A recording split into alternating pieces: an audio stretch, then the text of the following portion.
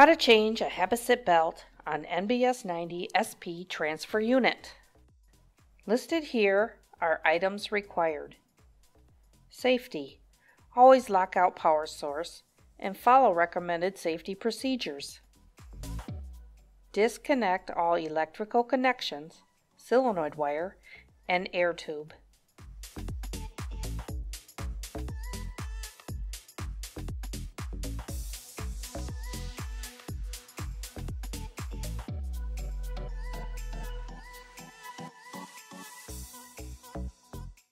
Secure the transfer unit with a floor jack. Remove all eight hex nuts and lock washers from the support brackets.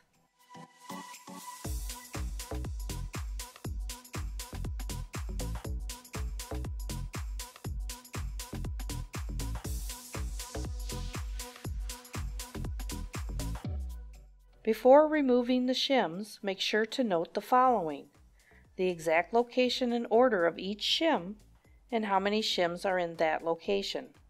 This will help maintain the current roller height and level when reinstalling. Slowly lower the floor jack and make sure the transfer unit is clear from the hanging cords. Move transfer unit to a workbench. Remove the end guard.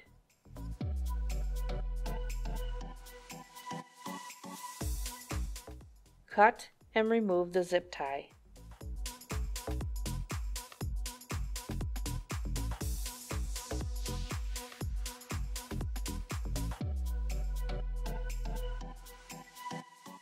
Loosen the hex bolts on the take-up plate.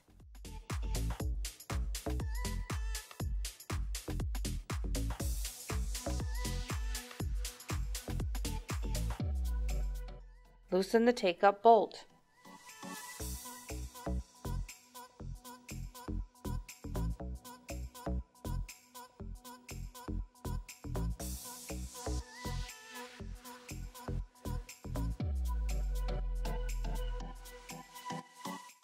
Remove the rollers by pulling the axle. Remove the two plastic washers on the end of each roller, opposite side of the belt.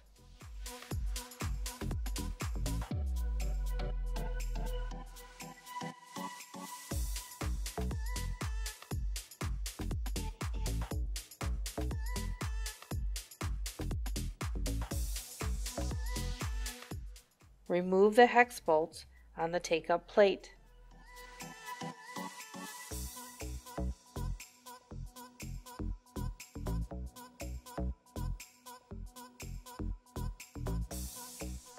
Cut and remove the zip tie on the motor power cord.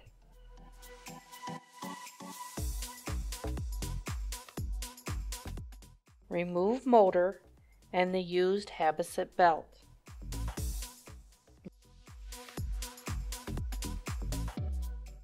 Loosen the motor mount support bracket.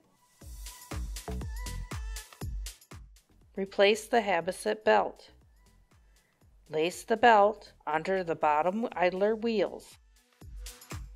Pull belt straight up to estimate the center of the belt. Then pull center of the belt down between fingers to form a loop. Lace the belt loop under the motor pulley and place the motor on the motor support bracket.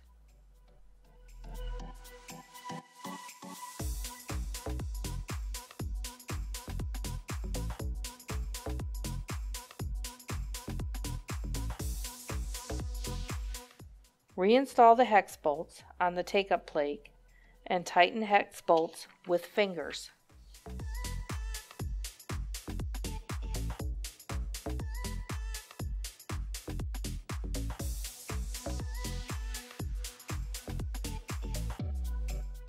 Reinstall the end roller through the belt and place roller axle in the hex hole. On the opposite end of the roller, reinstall the two plastic washers and push in the axle to reinstall the roller. Loop the belt under the top idler wheel. Repeat the process for each roller.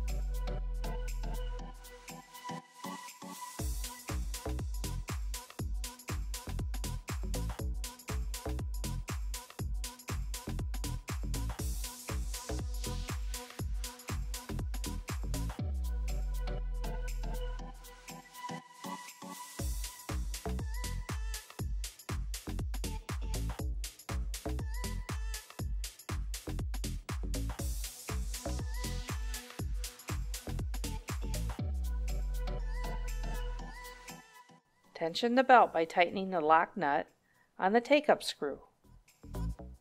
Tighten two hex bolts adjacent from each other on the take-up plate.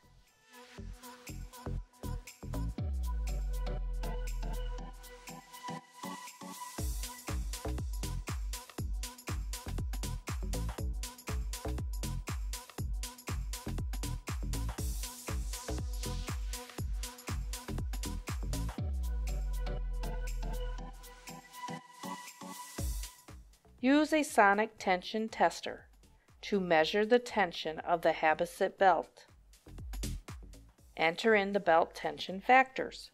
Span 132 millimeters, width 25.4 millimeters, weight 1.2 grams per meter, tension frequency range equals 161 plus or minus 5 hertz. Hold the microphone approximately one inch above the belt. Using your finger, flick the belt so it makes a vibration. The sonic tester will measure the vibration and give you a reading. Spin the belt and repeat test at least three times to get an overall reading.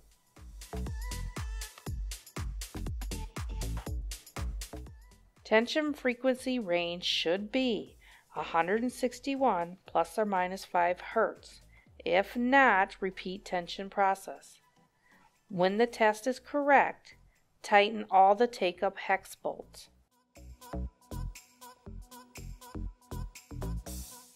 Tighten the lock nut on the take-up screw.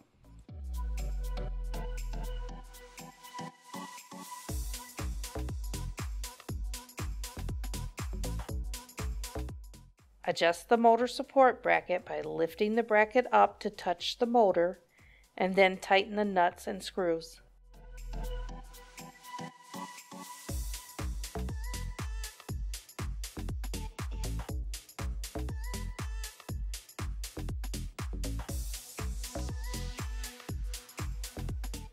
Replace the zip tie to the motor power cord.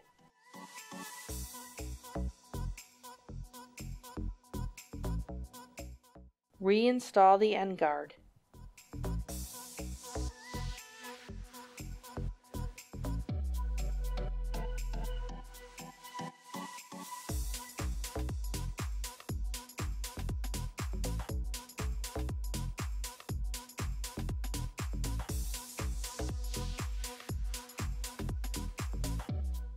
Move transfer unit to a floor jack to reinstall.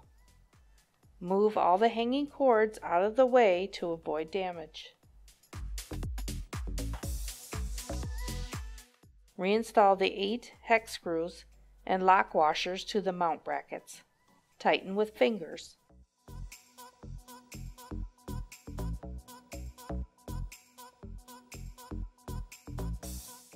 Place the shims back in their original location to maintain the roller's original height and level. Otherwise, you might have to make some height corrections. Fully tighten the 8 hex screws and lock washers.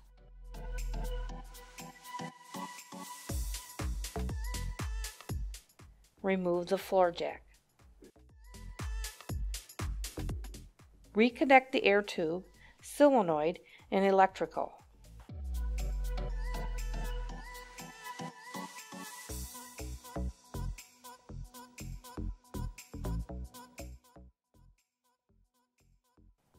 Zip tie the hanging cords. For more MHS conveyor videos, visit mhs-conveyor.com.